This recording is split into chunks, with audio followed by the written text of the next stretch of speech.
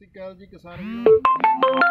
ਹਾਜ਼ਰ ਹਾਂ ਜੀ ਪ੍ਰਗਟ ਸਿੰਘ ਪਿੰਡ ਕੋਟ ਪਨੇਚ ਦੇ ਸਿੱਧੀ ਬਿਜਾਈ ਵਾਲੇ ਖੇਤ ਦੇ ਵਿੱਚ। ਤੇ ਜਿਵੇਂ ਤੁਸੀਂ ਵੇਖ ਸਕਦੇ ਹੋ ਵੀ ਕਿਸਾਨ ਵੀਰ ਨੇ ਲਗਭਗ 3 ਏਕੜ ਝੋਨੇ 'ਚ ਸਿੱਧੀ ਬਿਜਾਈ ਕੀਤੀ ਆ। ਤੇ ਬਿਜਾਈ ਦੇ ਉਪਰੰਤ ਅੱਜ 30 ਤੋਂ 32 ਦਿਨ ਦਾ ਝੋਨਾ ਹੈਗਾ ਇਹ। ਤੇ ਬਹੁਤ ਹੀ ਸ਼ਾਨਦਾਰ ਟਿਲਰਿੰਗ ਸ਼ੁਰੂ ਹੋ ਚੁੱਕੀ ਆ। ਤੇ ਕਿਸਾਨ ਵੀਰ ਵੱਲੋਂ ਨਦੀਨ ਨਾਸ਼ਕ ਵੀ ਕੀਤਾ ਗਿਆ ਵੀ। ਜਿੱਥੇ ਜਿੱਥੇ ਮੈਂ ਪਹਿਲਾਂ ਆਇਆ ਸੀ ਗੈਪ ਫਿਲਿੰਗ ਦੀ ਲੋੜ ਸੀ। ਕਿਸਾਨ ਨੇ ਉਹ ਗੈਪ ਫਿਲਿੰਗ ਕੀਤੀ ਹੈ। ਤੇ ਹੁਣ ਜਿਹੜੀ ਲੋੜ ਆ ਕਰਨੇ ਵਾਲੀ, ਕਿਸਾਨ ਵੀਰੋ, ਇਹ ਆ ਵੀ ਆਪਾਂ ਸਿੱਧੀ ਬਿਜਾਈ ਵਾਲੇ ਝੋਨੇ ਦੇ ਵਿੱਚ ਪਾਣੀ ਖੜਾ ਨਹੀਂ ਕਰਨਾ। ਕਿਉਂਕਿ ਪਾਣੀ ਖੜਾ ਕਰਨ ਦੇ ਨਾਲ ਕੀ ਹੈ, ਜਿਹੜੇ ਖੁਰਾਕੀ ਤੱਤ ਨੇ, ਨਾਈਟ੍ਰੋਜਨ ਆ, ਇਹ ਸਾਰੇ ਲੀਚ ਡਾਊਨ ਹੋ ਜਾਂਦੇ ਨੇ।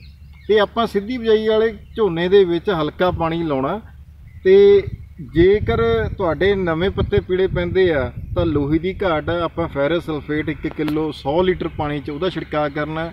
ਜੇਕਰ ਪੱਤੇ ਸਾਡੇ ਜੰਗਿਆਲੇ ਪੈਂਦੇ ਹੁੰਦੇ ਆ ਲਾਲੀ ਤੇ ਆ ਤਾਂ ਜ਼ਿੰਕ ਦੀ ਘਾਟ ਆ। ਤਾਂ ਜ਼ਿੰਕ ਜਿਹੜਾ ਵਾ ਉਹ ਵੀ ਆਪਾਂ ਛਿੜਕਾਅ ਕਰ ਸਕਦੇ ਆ। ਯੂਰੀਏ ਪਹਿਲੇ ਨਾਲ ਵੈਸੇ ਅਸੀਂ ਇੱਥੇ ਛਿੱਟਾ ਦਿੱਤਾ ਕੋਈ ਘਾਟ ਨਹੀਂ ਹੈ।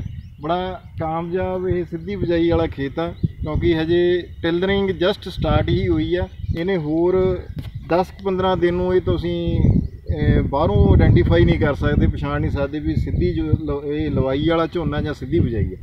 ਤੇ ਬਾਕੀ ਕਿਸਾਨ ਵੀਰ ਜਿਨ੍ਹਾਂ ਨੇ ਇਸ ਵਾਰ ਸਿੱਧੀ ਬਿਜਾਈ ਨਹੀਂ ਕੀਤੀ, ਜਾਂ ਆਪਾਂ ਕਈ ਕਿਸਾਨ ਵੀਰਾਂ ਨੇ ਵਧੀਆ ਝੋਨੇ ਵਾਹਤੇ ਉਹਨਾਂ ਨੂੰ ਮੈਂ ਕਹਿਣਾ ਚਾਹੁੰਦਾ ਵੀ ਸਿੱਧੀ ਬਿਜਾਈ ਪੂਰੀ ਤਰ੍ਹਾਂ ਕਾਮਯਾਬ ਆ। ਜਿੰਨੇ ਵੀ ਕਿਸਾਨ ਵੀਰਾਂ ਨੇ ਸਾਡੇ ਯੋਧੇ ਕਿਸਾਨ ਵੀਰ ਨੇ ਜਿਨ੍ਹਾਂ ਨੇ ਇਹ ਨਹੀਂ ਵਾਹਿਆ, ਰੱਖਿਆ ਵਾ, ਤੇ ਮੈਂ ਮੈਨੂੰ ਪੂਰੀ ਆਸ ਆ ਵੀ ਸਾਡਾ ਝਾੜ ਵੀ ਇੱਥੇ ਘਟੂਗਾ ਨਹੀਂ। ਆਰਥਿਕ ਤੌਰ ਤੇ ਸਾਨੂੰ ਇੱਥੇ ਲਾਭ ਹੋਊਗਾ, ਕਿਉਂਕਿ ਸਾਡੀ ਇੱਥੇ ਬਿਜਾਈ ਦਾ ਖਰਚਾ ਬਹੁਤ ਘੱਟ ਆ। ਹਾਂ, ਜਿੱਥੇ ਕਿਤੇ ਊਣਤਾ ਹੀ ਰਹੀ ਆ, ਨਦੀਨਾਂ ਦੀ ਸਮੱਸਿਆ ਹੈ, ਉਹ ਨਦੀਨ ਅਸੀਂ ਹੁਣ ਲੇਬਰ ਲਾ ਕੇ ਵੀ ਕਢਵਾ ਰਹੇ ਹਾਂ ਕਈ ਖੇਤਾਂ ਦੇ ਵਿੱਚ। ਤੇ ਪਾਣੀ ਬਚਾਉਣ ਲਈ, ਆਉਣ ਵਾਲੀਆਂ ਪੀੜ੍ਹੀਆਂ ਨੂੰ ਬਚਾਉਣ ਲਈ ਕਿਸਾਨ ਵੀਰੋ ਸਿੱਧੀ ਬਿਜਾਈ ਨੂੰ ਅਪਣਾਉਣਾ ਸਮੇਂ ਦੀ ਲੋੜ ਆ। ਤੇ ਸਾਰੇ ਬਲਾਕ ਦੇ ਖੰਨੇ ਦੇ ਮੈਂ ਕਿਸਾਨਾਂ ਨੂੰ ਕਹਿਣਾ ਚਾਹੁੰਦਾ ਵੀ ਅਸੀਂ ਆਉਣ ਵਾਲੇ ਸਮੇਂ 'ਚ ਸਿੱਧੀ ਵਿਦਾਈ 'ਚ ਜਿਹੜੀਆਂ ਇਸ ਸਾਲ ਸਾਡੇ ਤੋਂ ਗਲਤੀਆਂ ਹੋਈਆਂ, ਉਹ ਅਗਲੇ ਸਾਲ ਨਾ ਹੋਣ। ਉਹਦੇ ਬਾਰੇ ਅਸੀਂ ਤਕਨੀਕੀ ਜਾਣਕਾਰੀ ਲਈਏ, ਖੇਤੀਬਾੜੀ ਵਿਭਾਗ ਨਾਲ ਜੁੜੀਏ। ਬਹੁਤ ਬਹੁਤ ਧੰਨਵਾਦ।